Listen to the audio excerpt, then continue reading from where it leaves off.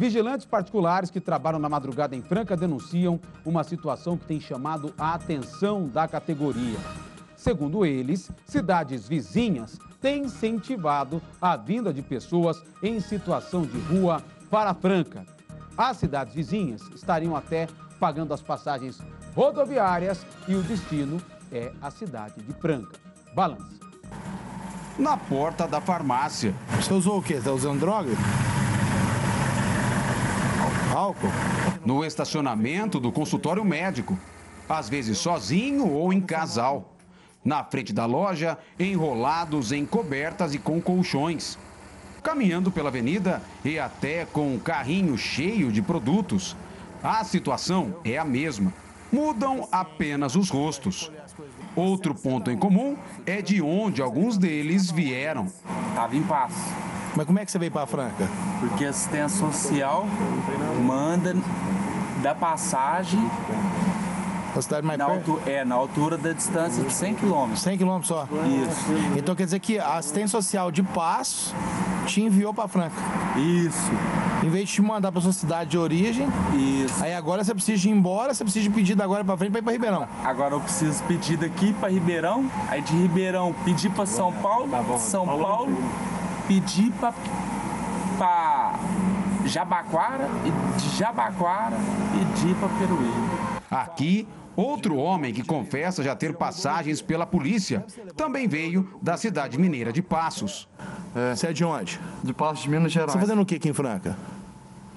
Tô aqui sozinho aqui. Vou pra, pra cidade minha aí, ó. Vou resolver minha vida aí. Jogar minha felicidade pela minha família. Você já roubou? Já roubou? Não, eu sim. Já roubou? Não, já fiz rolo já. Já esse morador de rua confirma a matrícula de passagem pelo sistema prisional e também que veio de outra cidade para Franca. De onde você é? Tô com o Bernardo Campo, mano. É? Qual que é a sua matrícula? 674 87. As imagens foram enviadas ao jornalismo da Record TV por vigilantes noturnos que trabalham aqui na região da rodoviária.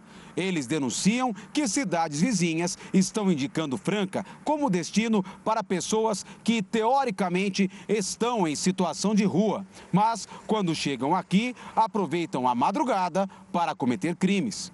Nesse flagrante, o vigilante evita com que o homem leve um pneu que ele diz ter encontrado na rua. Você pegou o pneu? Não. Eu achei sozinho, depois eu mostrei pra ele. Ele falou, não, vamos ali, vamos ali que eu te Aí for." ia levar no recitador ali. Por segurança, um dos vigilantes aceitou falar sobre a situação que encontra todas as noites, mas sem se identificar. Virou uma verdadeira cracolândia. Para cada três que a gente aborda, um é de Franca. Os outros dois é de fora. A grande maioria tem passagem. E passagem feia. Passagem por homicídio, por estrupo. É, é tudo coisa assim, pesada. Para os vigilantes, a política na ação social adotada pelo poder público incentiva a vinda de moradores em situação de rua para Franca. Aí eu pergunto para eles a respeito por que, que eles vêm para Franca, eles falam ah, que eu tenho um lugar bom, né? O pessoal que o pessoal que é um povo muito acolhedor, que gosta de ajudar. E ainda tem os benefícios, né? Aí falou, tem um centro pop, eu tenho todos os benefícios e tal.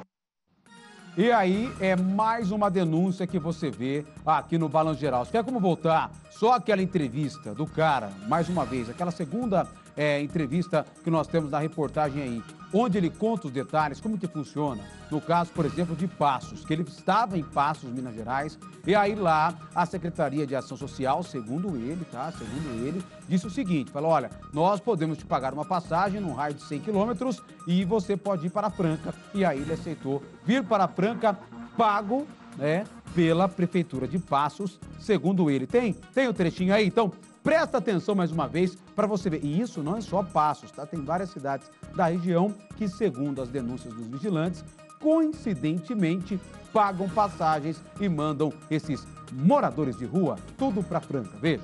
O ponto em comum é de onde alguns deles vieram. Estava em paz.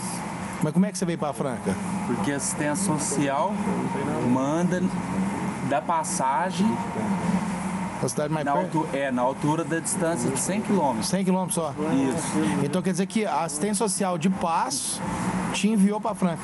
Isso. Em vez de te mandar para sua cidade de origem, Isso. aí agora você precisa de ir embora, você precisa de pedir da agora para frente para ir para Ribeirão. Agora eu preciso pedir daqui para Ribeirão, aí de Ribeirão pedir para São Paulo, São Paulo pedir para Jabaquara e de Jabaquara pedir para Peruíbe. Aqui, E aí você está vendo essa situação. Não sou eu que estou falando, é o próprio morador em situação de rua que está trazendo detalhes de como ele veio, como ele chegou em Franca, como ele veio parar na cidade de Franca. E aí, os vigilantes estão abordando, né? Porque eles estão fazendo o trabalho. Falaram, olha, o que você está fazendo aí? Por que, que você está aí na porta? Porque o cara não está lá para dormir só, irmão. Se ele quiser dormir, ele vai pro abrigo, né? Se ele quiser dormir, Franca é uma mãe. Franca tem o centro pop, Franca tem o abrigo municipal, tem onde ele passar. Nós temos várias ONGs, várias igrejas que ajudam com comida, com moradia. Franca tem até auxílio aluguel, au- auxílio moradia. Se o cara quiser, a prefeitura paga aluguel pro cara, mas o cara quer ficar na rua. Por que, que ele quer ficar na rua? Porque na rua não tem regra. Ele tem a grana mais fácil para juntar, o pessoal dá esmola, e se ele não conseguir para comprar droga, para sustentar o vício dele, o que, que ele faz? Ele arrebenta, ele quebra a loja, ele furta a câmera, ele tira a lâmpada, ele arrebenta a vitrine, ele pega o dinheiro da gaveta e assim por diante. Né? E isso não para nunca, né? E aí, o que, está acontecendo aí? Nossa, sapato, jogar um sapato aí, hein? É, jogar uma, deixa aí. E aí, não para nunca, tá? A situação que você está vendo é essa aqui que você. Aí, aí pergunta de onde você é. Ah, eu vim de Passos, eu sou de São Bernardo do Campo, e você? Sou de Minas Gerais. E a situação seguindo é essa aí. Né? Infelizmente, o que você está vendo aqui no Balanço Geral é essa denúncia feita por vigilantes e nós cobramos. Bom, primeiro, a questão dos moradores de rua que vêm de Passos né, Minas Gerais. Nós entramos em contato com a Prefeitura da cidade mineira. Pode subir a informação que eu tenho a nota enviada por eles. Eles disseram que, através da Secretaria de de Desenvolvimento Social, Trabalho e Renda, a cidade de Passos diz que a informação não procede. O programa Migrante fornece passagem para o destino que as pessoas indicam. Segundo a secretaria, nem todas estão retornando para casa, visto que alguns estão em busca de oportunidades de emprego. Então, Passos, né, admite que paga passagem para a pessoa ir e aí para as cidades que a pessoa quer, né, fala não, eu escolho, né, não, eles não indicam só Franca, ó, vai para Franca, né, mas eles despejam, né, ó, se quiser ir embora, vai para a cidade que tem oportunidade. Lá tem emprego, é São Paulo, meu irmão, vai para São Paulo, lá tem emprego, vai para Franca. E aí, no raio de 100 quilômetros, a cidade que eles acabam indicando, segundo aí os moradores de rua, né, eles estão falando isso, é a cidade de Franca. Mas nós já demos uma cutucada lá na prefeitura, que o povo aqui tá esperto, que tá chegando gente de passos bastante em Franca, né? Bastante de lá, porque segundo eles, né, a própria prefeitura isso mandou em nota pra gente, né, a prefeitura acabou de Passos confirmando isso, que eles indicam cidades onde tem oportunidade de emprego, ou seja, a Secretaria de Ação Social de Passos eles estão falando isso na nota. Né? Eles não criam empregos lá para ajudar pessoas em situação de rua. Eles encaminham para cidades que têm esse tipo de projeto. Uma delas é Franca. Você entendeu? Olha como são bonzinhos, hein? Olha como são bonzinhos. Eles encaminham para. Ó, aqui não tem. Mas se você for para São Paulo, meu irmão, lá você vai encontrar trabalho. Lá você vai encontrar emprego. E nós já demos uma cutucada lá. Outro ponto também que nós questionamos a Prefeitura de Franca sobre a quantidade de pessoas que moram nas ruas e que não são de Franca. Mas claro que a ação social de Franca jamais vai responder. Né? Não dá ação social que eles puderem fugir da gente, eles fogem. O máximo que a Prefeitura de Franca respondeu para a gente aqui, e ainda com muito custo, né? É para falar que hoje eles têm no tal do CAD único, que é um cadastro aí de pessoas em situação de rua, 610 pessoas cadastradas, tá? Pela conta feita pelo vigilante, pelo menos não oficial, tá? Porque a prefeitura não passa. A prefeitura fala, na verdade, nem respondeu sobre os dados de pessoas que moram aqui na cidade e que não são daqui, que vieram importadas aí, eh, indicadas de outros municípios e despejadas aqui nas ruas de Franca, né? Segundo os- o pessoal aí, os, os vigilantes, seria em torno de 400 pessoas dessas 600, pela conta que ele falou, 3 por 1, né? Cada três que eles abordam, dois são de fora, um é de Franca. né?